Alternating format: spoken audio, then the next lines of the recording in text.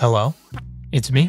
This video is the final part of my Tower of God Season 1 series. Check out the other parts if you missed them. My future self will probably put a link to the relevant playlist somewhere on screen. Anyway, when we last left off, Rak tells the others about the strange disappearance of his large friend, and Dorsey responds to his panic by informing the homies that Big Boy and Rachel are probably in some kind of blood pact. Kun dislikes Dorsey's blatant disregard for the sanctity of Rachel's true identity and pieces out to reflect on the past, alone in his room. Red Hair Insect Lady warned him about Ho while he was contemplating the odds of passing the exam from within his cube. A brief compilation of the past subterfuge ensues. Then Kun ruminates on his Machiavellianism. Meanwhile, Yuri and her manservant continue their journey. Kun is visited by Rak, who is transubstantiated into a midget after insulting Yuhan for being small. Kun cannot mend his diminutiveness. As this is the case, Rak decides to seek help from Yoru instead. However, Kun is conflicted about his relationship with Yoru, considering that he may have lost his motive to continue climbing the tower. Speak of Turtle God's little angel, here he is right now, to inform them that Rachel is now a paraplegic he vows to continue ascending the tower, reborn as Rachel's legs, without any other care in the world. Kun regrets not being as cool as Yoru, while he asks for their strength. Kun agrees fervently, so does Rak, but he's so small that Yoru doesn't notice. He goes on to ask a favor. Hard cut to Serena pouring one out for her deceased Ho. The Kun squad visits his grave to give him a proper send-off. Everyone does too, which is kind of cool. Ho turns into a freaking solar panel. Somewhere in a field, Rachel breaks into tears while apologizing to Yorbo for abandoning him. She insists that he return the favor by leaving her. Yoru is shook, then demonstrates the depth of his love by comparing her likeness to that of a ray of light which pierced his dark, lonely world. This causes Richard to produce more juice and apologize continuously. These folks party hard on some sake. Lori thanks Serena for dragging him out of the crown game. Then later, Serena leaves. Shibi Sulan tries to get her to stay, but she has a pretty solid reason for departing, bequeathing him her blade upon exiting. Kun visits Liro. In a dank cave, the Onigiri wizard speaks to his orb, revealing his nefarious intentions to recover Green April and Black March when he is confronted by Yu Han. Yui Handala-san reveals the Rice Ball's true name, Royal Enforcement Division Unit Number 67, Lopobia Rin. Lupub Rin menacingly unveils his mouth eyeballs in response, then summons a freaky cave worm. Tutan has no trouble with Lupubi's creature and calls him out on his intent to assassinate Anaak. He then offers to assist, stating objectively that if there is an individual threat to the tower, he'll eat them.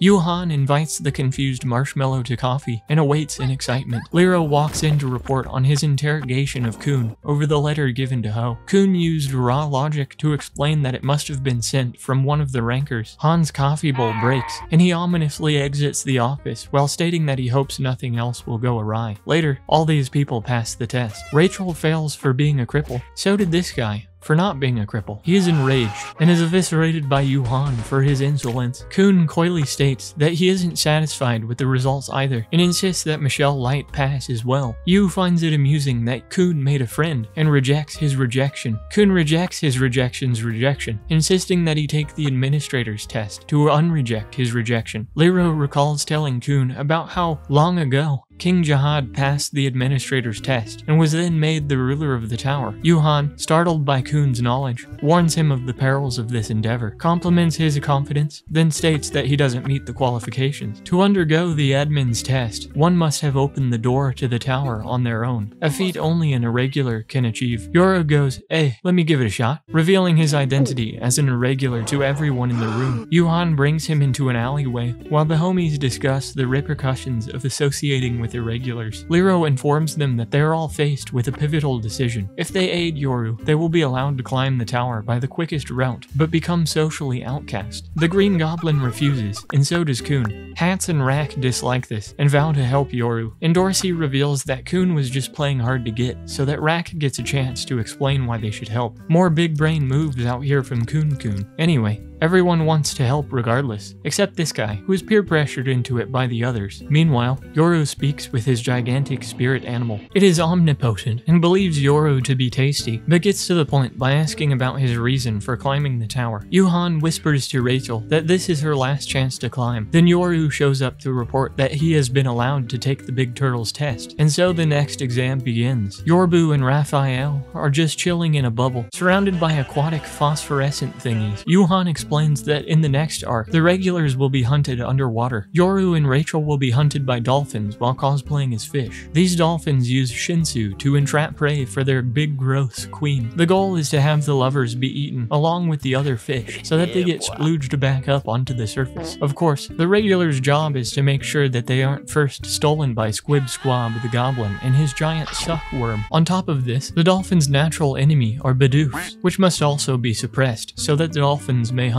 freely. Additionally, there is this thing called the bull that eats rankers sometimes. Shibi is nervous. Yoru encourages Rachel while Kun strategizes. They split up, which makes sense. Quant critiques Yuhan's test, but is impressed by the complexity of it. Yuri gets stuck on a massive cliff and decides to push Evan, her dutiful servant boy, into the abyss. Yoru informs Rachel on the deets of his relationship with Yuri. She makes this face, then laughs. I don't know what that means. Shibi is nervous. Kun asks him why he's helping Yoru, even after knowing the perils of this test. He has a flashback to Serena telling him that Yoru is the living embodiment of everything that they lost before climbing the tower. He simply doesn't want Yoru to have what's important taken from him. Suddenly, Hatch reports that Diddy Kong and Blarg have vanished. A strange bloodlust fills the air, and Shibi is attacked by the bull, who's already got a full mouth. Rachel and Yoru flirt, or something, while the bull becomes distracted. Shibi goes for his iconic move of declaring himself to be delicious. It doesn't work, so he pulls a blade and goes for the plunging attack. The bull is unaffected, but falls for his bait. He is eaten in a dramatic, slow motion fashion. Never mind, Anaak and Endorsi have arrived. They quarrel briefly, but settle on a bet instead. They will each take five minutes to do battle with the monster. If Endorsi defeats it, then she will acquire ownership of the legendary princess weapons. If not, then she will become a slave to Anaak. Smirk. Meanwhile, Rak yearns for combat with the bull. When the worms begin to slither into the no-no zone, Kun coordinates a surprise attack, and they get in position. The little mermaid and her devotee begin to be entrapped by the dolphin magic. They flirt some more. This child offers her pot up to the sky with an answer to one of Kun's big brain problems. Endorsi continues her fight with the bull, but is caught by a noodle appendage. She breaks free without trouble, causing the bull to scream and flee. Anaak tags in and gives chase, with Endorsi lagging behind. Shibisu curses the air these willful women breathe. Labia Wren number 67 eats pizza in delight, for the princesses have fallen for his trap. The child's fish creature discovers an underground tunnel with his sonar powers, much to Kun's satisfaction. He then asks a relevant question. Can people with her ability control other beings, like dolphins or the bull? Hint hint, wink wink. His suspicions are confirmed. Yuhan places his bowl of coffee down. Endo is almost slimed on, bounces around some, then is tentacled again. The strength of its spaghetti is more effective this time around, and she is incapacitated.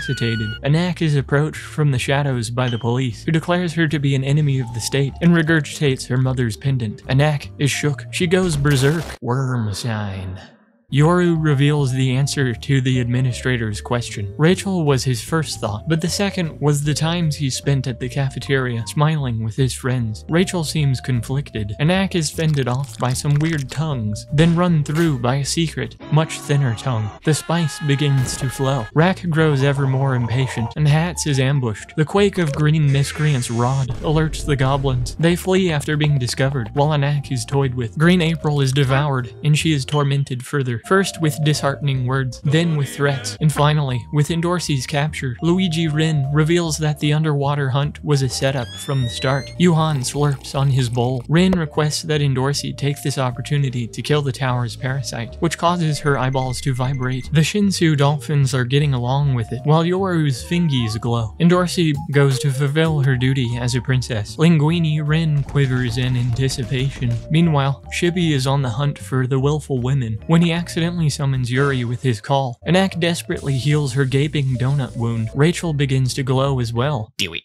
And Dorsey doesn't do it and instead decides to tag team. Kun is waiting for something. The princesses go nuts with their weapons, much to the surprise of the Onigiri police. Rak and his angry green sack flee from the goblin horde, but running doesn't suit the big dinosaur. He ramps elegantly across multiple platforms, soaring into the air, directly into the midst of the suckworm party. Rin fires his laser as a last resort, incapacitates both princesses, and threatens to snitch to Jahad. Things don't look too good here. I recognize that move. It's Shibi's killing arts, and Yuri come to save her sisters. Lopobia is shook and attempts to talk his way out of instant death. Yuri insists that she take over his business, as Rak and Slimer are levitated to safety. The rice ball tries to gaslight Yuri, but instead invokes her wrath. He trembles in anticipation, but ultimately cannot control his violent impulses. His gross tongues are released from an unseemly bliss and instantly evaporate. Yuri goes for the kill move. Yoru flirts with Rachel some more. The princess failed to win the rice ball though, but earns Enak's respect. Kun's plan is revealed to all. The goblin suckworms were tricked into slurping up all the Bidoofs after Laro cleverly collapsed their secret tunnels. There's nothing quite like the effectiveness of domestic infighting. Kun is suddenly approached by his older doppelganger and decides to take a break. Laro is also approached by someone. Lero calls for an emergency, but his camera feeds are cut. Yuhan seems to expect as much, stating that since this test is run by the administrator, they do not possess the authority to intervene. Lero is suspicious. Kun's brother offers him to take him to see Princess Maria, declaring himself to be an outcast as well. Meanwhile, Yuri is bored, and Evan runs into Yuhan, who had prepared some bowls of coffee with the expectation of their arrival. He also expected them to be after Black March, and is fully prepared to turn a blind eye to their intrusion. Evan quickly uses his orb to instruct Yuri to tread carefully, as assisting an ex-orphan in any way will be bad news for her reputation, Endorsi offers to finish Ren off instead, insisting that if helping a friend is treason, then she is a traitor. Shibi agrees, but Yuri wisely stops them. Instead, her hammer boy annihilates the would-be assassin. Kun rejects his brother's invitation, declaring that Maria is no longer his motivation for climbing the tower. Hatz arrives to protect his homie after deducing Kun's situation. Kun 2.0 is impressed with his collection of allies and pieces out. Are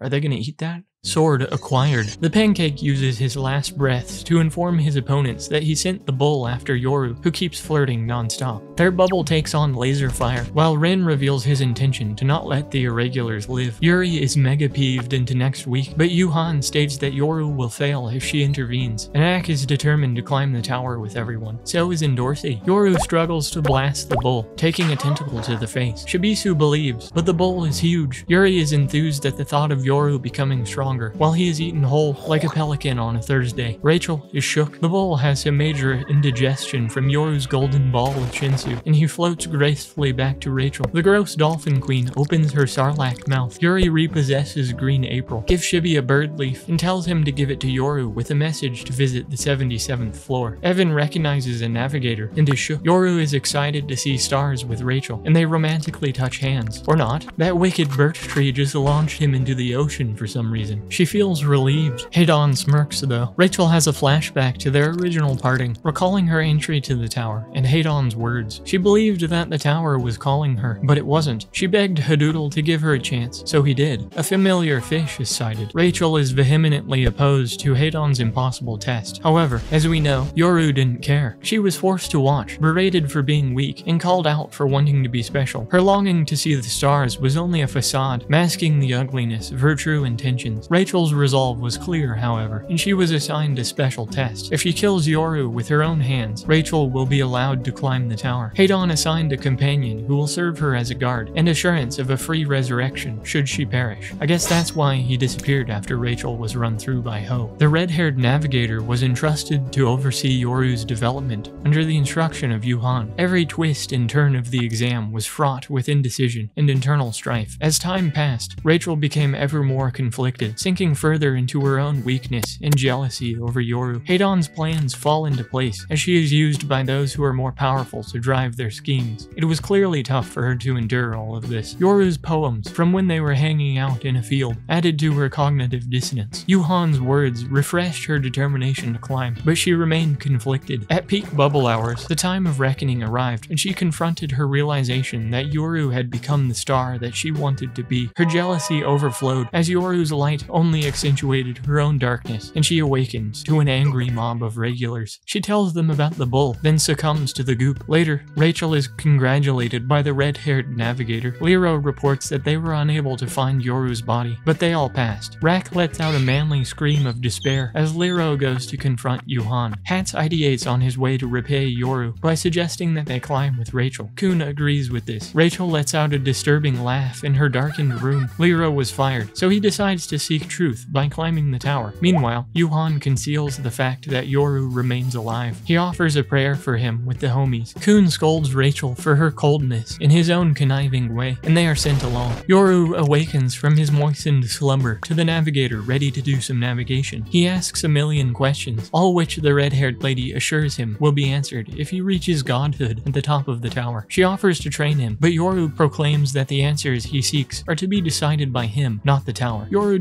decides to climb and is welcomed to the Tower of God, and that's the end of Season 1. Also, this is probably Yoru with the ponytail. Hey, thanks for watching. If you enjoyed the video, like, subscribe, leave a scalding comment, or something like that. I have a Patreon if you have fallen for my cerebral charms. Thanks again. Uh, bye.